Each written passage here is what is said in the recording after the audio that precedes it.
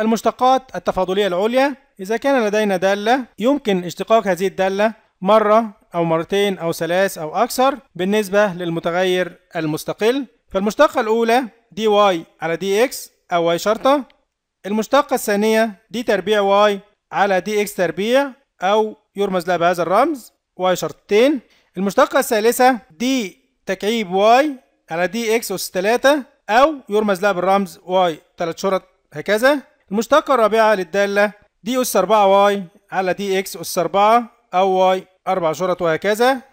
مثال أوجد المشتقات الأولى والثانية والثالثة والرابعة للدالة.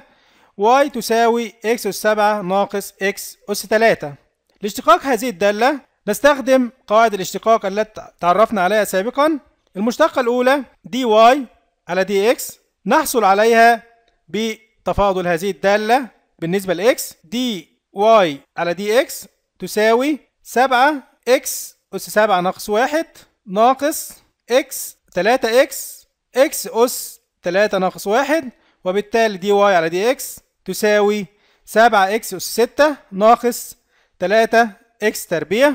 المشتقة الثانية نقوم بتفاضل المشتقة الأولى مرة أخرى بالنسبة ل x ف d تربيع y على dx تربيع. تساوي 7 في 6 x أس 6 ناقص 1 ناقص 3 في 2 x أس 2 ناقص 1 فنحصل على المشتقة الثانية.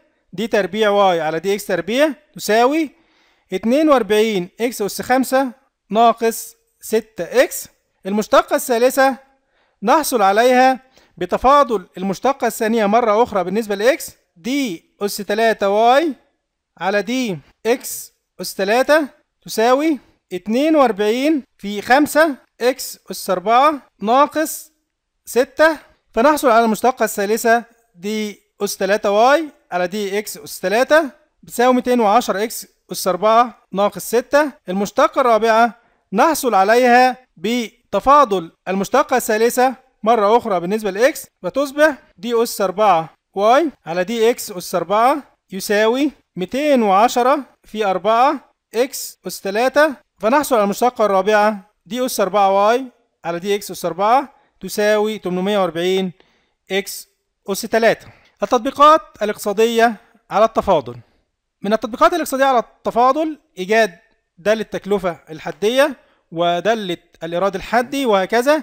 دالة التكلفة الحدية تساوي التفاضل الأول لدالة التكلفة الكلية ودالة الإيراد الحدي تساوي التفاضل الأول لدالة الإيراد الكلي. دالة المنفعة الحدية لسلعة ما تساوي التفاضل الأول لدالة المنفعة عند نقطة معينة. مرونة الطلب السعرية تساوي تفاضل دالة الطلب في السعر x على الكمية المطلوبة y أي أن مرونة الطلب تساوي dy على dx في x على y. مثال إذا كانت دالة التكلفة الكلية للسلعة x هي y يساوي y تساوي 8 زائد 2x زائد 5x تربيع حيث y هي التكاليف الكلية و x هي الكمية المنتجة. والمطلوب إيجاد التكلفة الحدية عند إنتاج الوحدة الخامسة. الحل؟ لإيجاد التكلفة الحدية نقوم بإيجاد التفاضل الأول لدالة التكلفة الكلية حيث التكلفة الحدية dy على dx بتساوي 8 تفاضلها صفر زائد 2 x تفاضلها 2 زائد 5 إكس أس 2 تفاضلها 10 إكس. إذا dy على dx تساوي 2 زائد 10 x. لإيجاد التكلفة الحدية عند إنتاج الوحدة الخامسة نقوم بالتعويض في دالة التكلفة الحدية عن x تساوي 5 إذا التكلفة الحدية تساوي 2 زائد 10 في 5 تساوي 2 زائد 50 تساوي 52 ريال. إذا التكلفة الحدية عند إنتاج الوحدة الخامسة تساوي 52 ريال.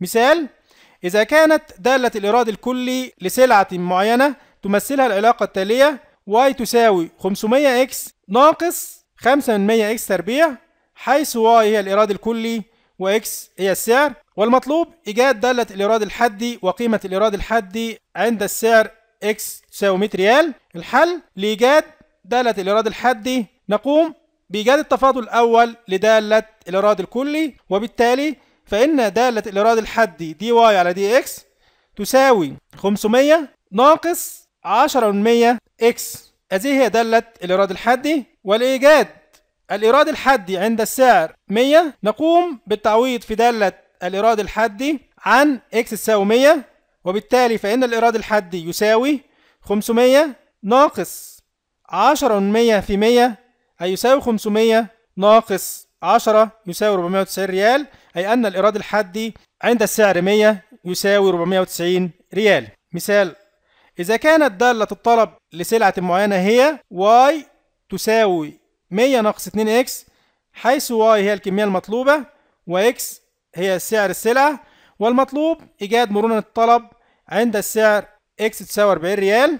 الحل لإيجاد مرونة الطلب مرونة الطلب تساوي dy على dx تفاضل دالة الطلب في x السعر على y الكمية المطلوبة. تفاضل دالة الطلب dy على dx تساوي سالب 2 وبالتالي يتم التعويض في هذه الدالة دالة مرونة الطلب dy على dx تساوي سالب 2 مضروبة في x السعر على y يتم التعويض بقيمة y 100 ناقص 2x وعند السعر x 40 ريال يتم التعويض في الدالة عن x تساوي 40 وبالتالي فإن مرونة الطلب تساوي سالب 2 في 40 على 100 ناقص 2 في 40 تساوي سالب 2 في 40 على 100 ناقص 80 أي تساوي سالب 80 على 20 تساوي سالب 4 أي أن مرونة الطلب عند السعر 40 ريال تساوي سالب 4